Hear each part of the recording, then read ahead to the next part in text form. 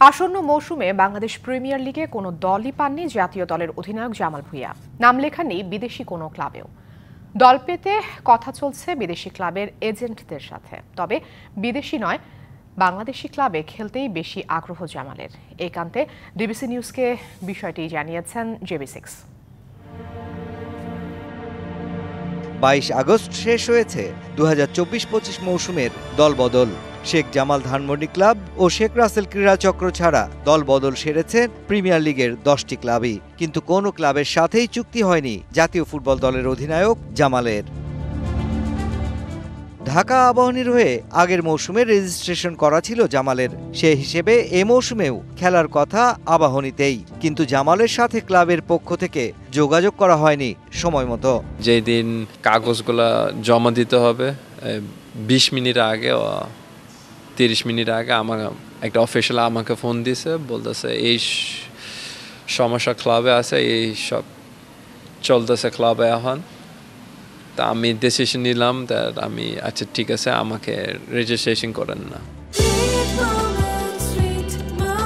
Treat chocolate treat moment sweet moment.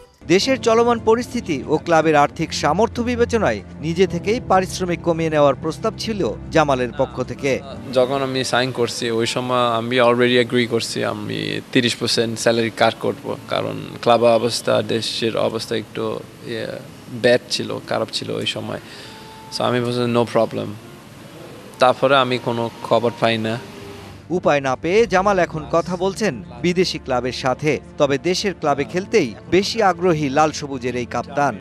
Malaysia এক দুইটা ক্লাবে, একটা এজেন্ট আমাকে জিজ্ঞেস করছে, কেরালা সুপার লিগ শুরু হয়েছে, তো ওইখানেও একটা অপশন আছে বাট এখন আমি শিওর না আমি কি করব। আমি একটু সালাদিন ভাই প্রেসিডেন্টের সাথে আলাপ করতে হবে আগে। কারণ আমি তো দেশে থাকতে চাই, বাংলাদেশে থাক- থাকতে চাই। যেমনটি বলছিলেন জামাল ভুঁইয়া তিনি বাংলাদেশের হয়ে খেলতে চান এবং বাংলাদেশকে ফুটবলের অনন্য একটা জায়গায় নিয়ে যেতে চান। সেই জায়গায় জামালের জন্য প্রত্যাশা থাকবে আমাদেরও জামাল বাংলাদেশকে আরও পরিচিত করুক বিশ্ব মাঝে এবং বাংলাদেশের ফুটবলকে এগিয়ে নিক আরও অনেক দূর। Mushfiqur Rahman, DBC news, Dhaka.